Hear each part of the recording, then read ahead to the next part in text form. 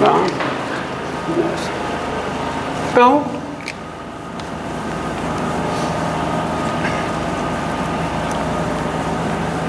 ó, resolver aqui separado, ó.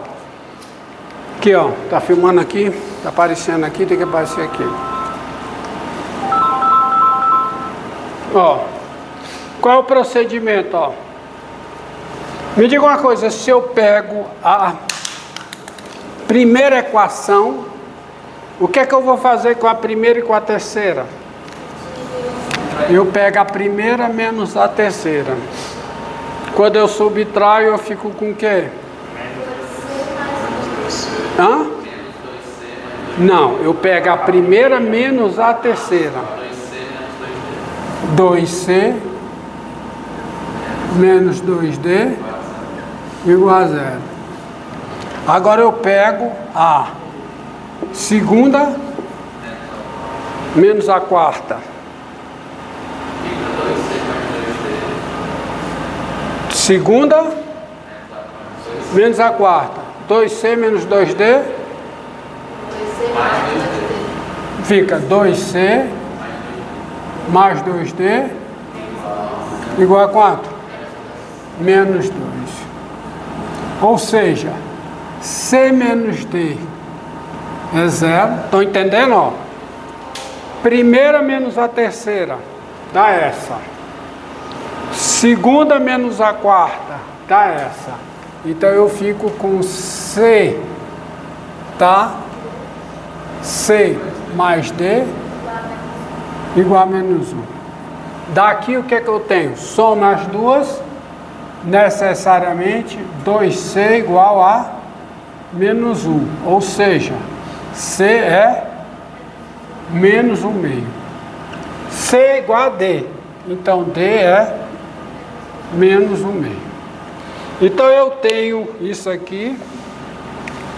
Se e somente se, se e somente se, A eu ainda não sei, B eu ainda não sei, C eu sei, C tem que ser menos 1 meio, e o D tem que ser quanto?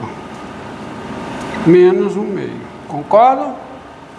Agora vamos encontrar Quanto é o A mais B? Igual fazer vermelho aqui. Quanto é A mais B? A mais B é quanto? É menos C. Então A mais B é um meio. Tá? A mais B é um meio. Ótimo. E vamos usar essa daqui, ó. Essa daqui, porque essa aqui não adianta, tá? a segunda. A segunda. A vezes 1 mais raiz de 2. A vezes 1 mais raiz de 2. Mais o que? Mais B vezes quanto? 1 menos raiz de 2. Tá certo?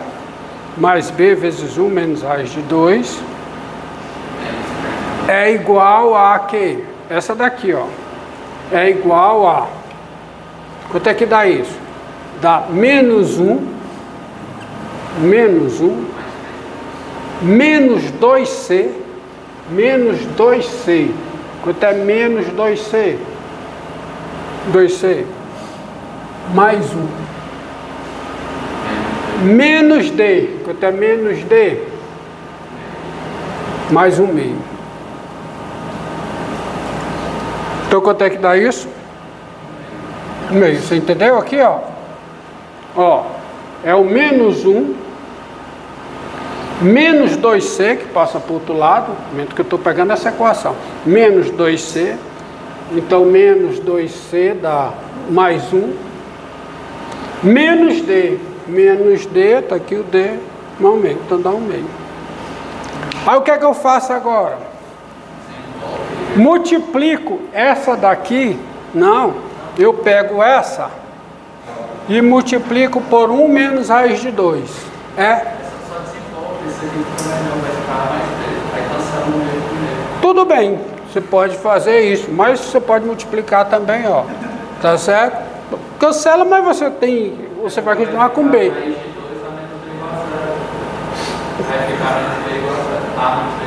Não. A vezes raiz de 2. Seria, tudo bem. A mais B. Quanto é A mais B? O meio. Certo? Então, ótimo também. Então pega aqui, multiplica por. Desenvolve. Então fica A mais B, que é o meio.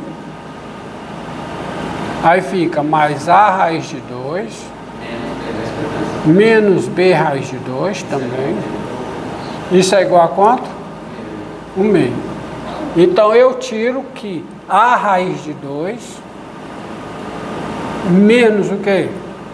B raiz de 2 é zero. Então eu fico com a equação A mais B igual a 1 meio, A menos B igual a zero. Aí daqui é fácil, né? A é quanto? A é igual a 1 quarto e B é igual a 1 quarto. Então, aqui você tem A igual a 1 quarto e B é quanto? 1 quarto.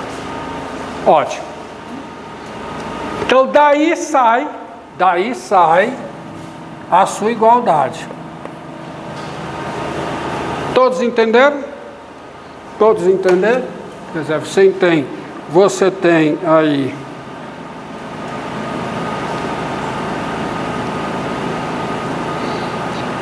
O A é um quarto, B é um quarto, C é menos um meio, D é igual a menos um meio. Então daí você tem, as contas faz em separado, esse lixo faz separado, né? Então você tem 1 menos Z2, 1 menos Z2 sobre quem? Sobre Sobre o quê? Deixa eu botar o vermelho aqui separado. 1 menos Z2 sobre quem, hein? Sobre Z2 mais 2Z menos 1 vezes quem, hein? Vezes 1 mais Z2. Isso é igual a quem? Vamos lá. Cadê? É, é A sobre isso aqui, então fica um quarto, um quarto de quem? De 1 sobre Z mais 1 menos raiz de 2, tá certo? Mais B, mais B, que dá o quê? Mais 1 quarto, 1 quarto, de quem? De 1 um sobre Z mais 1 um, mais raiz de 2, tá? É CZ mais D. Então fica o que? Fica menos 1 um meio, menos 1 meio de quem, hein? dizer sobre quem? Sobre 1 mais Z2. Tá? E continuando aqui.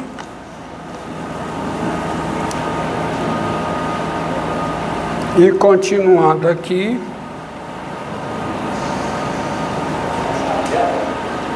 Fica menos um meio. Menos um meio de quem? de 1 sobre 1 mais E2. Entenderam? É o AZ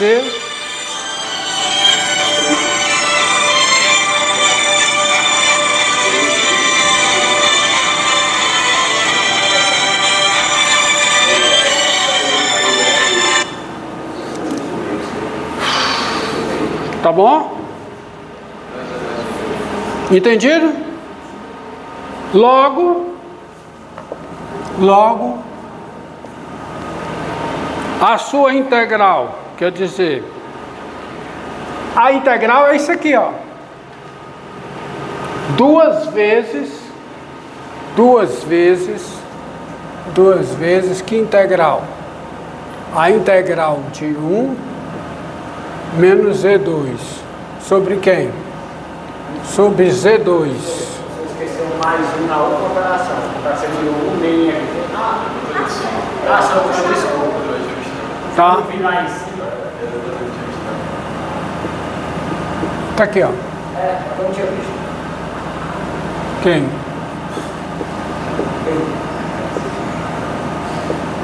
DZ.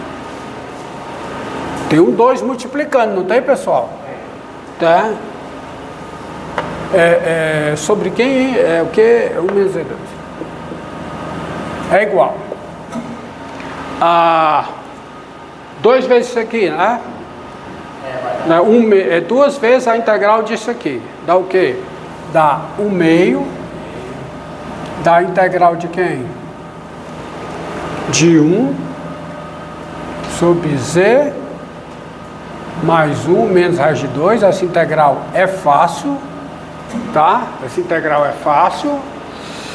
É, mais duas vezes a integral disso aqui. Então fica mais 1 meio da integral de quê?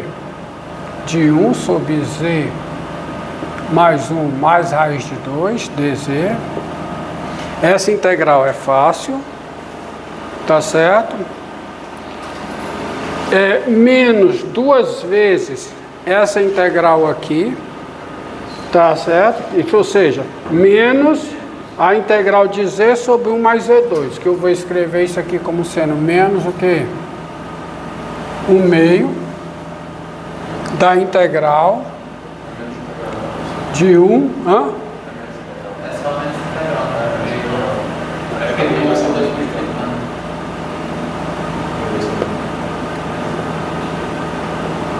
Dizer, porque isso aqui tem que ser U para ser o DU, era menos, mas eu vou logo botar aqui, tá certo? Entendido? E essa daqui sim, essa daqui é menos a integral de 1 sobre 1 mais C2 dz. Tá? Dá isso aí. E assim, agora vamos à integral que eu quero, que é a integral de 1 sobre quem? Sobre a tangente de x menos 1 em x. Tá certo? Que é igual, ó, ó, já vou fazer logo direto, porque eu quero essa integral aqui, ó. Essa integral aqui é duas vezes essa integral. Essa integral em x é, é o dobro dessa integral em z. Então tá aqui, ó. Então isso aqui vai ser essa integral aqui. Então fica metade metade de quem? Do logaritmo natural de quem? Do módulo disso. Só que quem é o z? Tangente de x sobre 2 mais 1 menos raiz de 2. Módulo. Estou entendendo o que eu estou fazendo? Aí aqui, mais mais o que? O meio, tá? O meio. É... Talvez seja melhor. Talvez seja melhor. Não, não, tudo bem. Talvez seja melhor eu, eu desenvolver aqui e substituir depois, que vocês vão entender. Então deixa eu fazer desse jeito. Então fica o quê? metade do logaritmo natural de quem? Do módulo de z mais 1 menos raiz de 2. Você vai entender por quê. Mais metade do logaritmo natural do módulo de z mais 1 mais raiz de 2 tá? Mais raiz de 2. Tá bom? menos, menos metade do logaritmo natural do módulo de 1 mais Z2, que dá 1 mais Z2, tá certo? Menos o que, hein? O arco tangente de Z, mais uma constante. Teste integral dá isso aí. Hã? que foi?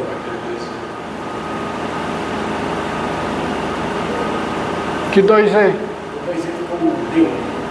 É 1 um sobre U em U. Ah, é. U du. Então fica menos 1 meio logaritmo natural de módulo de 1 mais Z2, que é 1 mais Z2. Então, assim, assim, ponto. Assim, a sua integral. Quem é a integral? Quem é? Ó, pode ver. Isso aqui ainda dá para ajeitar, não dá? Dá metade, metade. Logaritmo natural disso, mais logaritmo natural disso, é o logaritmo natural de quem? Do módulo do produto. Quanto é o produto disso por isso? Z2 mais 2Z menos 1 para ficar mais econômico. 2Z, Z2 mais 2Z menos 1, tá certo? Menos, aí está dividido. Então isso aqui dividido por quê? Por 1 mais Z2. Então isso aqui fica o módulo de quem? De Z2 mais 2Z menos 1, dividido por 1 mais Z2. Menos o arco tangente de Z mais uma constante. Tá? Isso aqui é igual. Aqui é igual. Tá? Ficou mais simples aí. Então, assim, assim, vou botar de azul a minha integral aqui. Como é que fica a minha integral? Hum? Porque a minha integral é partido de quem? Ó, ó. Então isso aqui fica o que, ó? Fica assim. Ah, qual é a integral, hein? Qual é a integral que eu estou calculando? Qual é a integral? 1 sobre a tangente de x menos 1, integral em x. Então, quem é isso? É metade do logaritmo natural de quem? Do módulo da tangente ao quadrado de x sobre 2, duas vezes a tangente de quem? x sobre 2 menos 1 módulo sobre o que? Sobre 1 mais a tangente ao quadrado de x sobre 2, deixa isso, menos o arco tangente da tangente de. Agora, cuidado o arco tangente da tangente de x sobre 2. Quem é o arco tangente da tangente de x sobre 2? Aí depende onde x está. Tá certo? Hã? Arco tangente. Arco tangente de quem? Da tangente de x sobre 2. Acontece, acontece que, olha, olha aqui, você pode botar, por que, que você pode botar X aqui? Cada constante. o arco tangente da tangente de x sobre 2 existe um múltiplo. Qual é, o, qual é o período da tangente? Qual é? Hã? O, o período da tangente é π. Então, se você pega x sobre 2, qualquer que seja o x real, existe um múltiplo de π tal que x sobre 2 mais esse múltiplo de π está no intervalo menos π sobre 2, π sobre 2.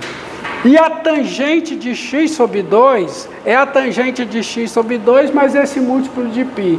Então, quando eu jogo aqui, isso aqui fica o arco tangente da tangente de x sobre 2 mais esse múltiplo de π. Quem é isso? Se esse x sobre 2 mais esse múltiplo de π está no intervalo menos π sobre 2, π sobre 2, isso dá x sobre 2 mais esse múltiplo de π, somado com a constante então, meu amigo, bota X aqui, X sobre 2 e vamos ser felizes, meu amigo. Mais uma coisa. Você entendeu? Você entendeu isso? Entendeu? Entendeu? Entendeu? Ó, porque dá, dá menos X sobre 2. Porque, ó, a fórmula, que eu estou de quanto tempo aí? Deixa eu só concluir que você encerra isso aí, ó. Não para ficar só isso. O que eu estou dizendo é o seguinte, ó a, o, essa fórmula, ó, vou colocar aqui que eu não quero apagar, essa fórmula, o arco tangente, o arco tangente da tangente de x, isso é x se o x está no intervalo menos π sobre 2, π sobre 2. Tá certo? Mas se o x não está no intervalo menos π sobre 2, π sobre 2, existe um múltiplo de π tal que x mais esse múltiplo de π vai cair lá no intervalo menos π sobre 2 mais π sobre 2. Só que nos múltiplos de π, de múltiplo de, de π em π, a tangente se repete.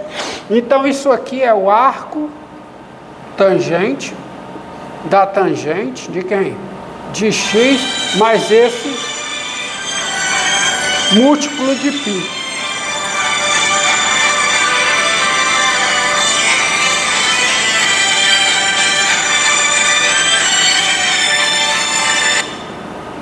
Tá certo? Eu falo com ele. Entendeu? Mas esse múltiplo de π. Tal que isso aqui